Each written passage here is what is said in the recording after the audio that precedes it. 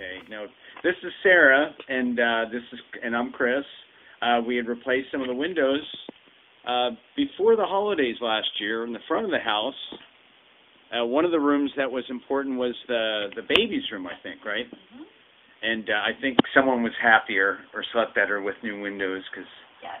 Our daughter was waking up a few times a night. We thought it might be because she was too cold, and uh, we noticed it was just a little colder in her room, so we had the windows replaced um, in the front side of our house, and I think it kept the heat insulated a little bit better because she started sleeping better after that, and we noticed the room was considerably warmer. which made mom and dad slept better after that too. Which everybody happy.